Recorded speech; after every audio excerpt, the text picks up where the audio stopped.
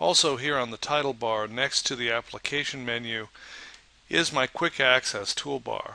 These are tools that I use so often I want them available so that I don't have to open a secondary menu.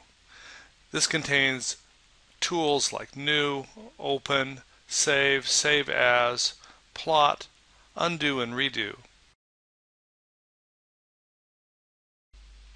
Also on the quick access toolbar I have a drop down menu that shows me the pre-configured workspace settings that I have available and I can use this to switch to another workspace. I can also use these tools to manage the workspaces that I have available.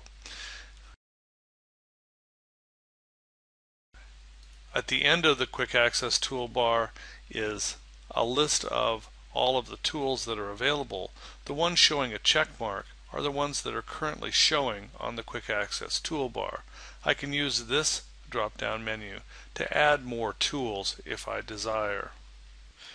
Also at the bottom of my drop down menu for controlling my quick access toolbar I could add more commands or I can show the menu bar if I click on Show Menu Bar, you notice that I get a menu bar across the top that shows a drop-down menu of tools.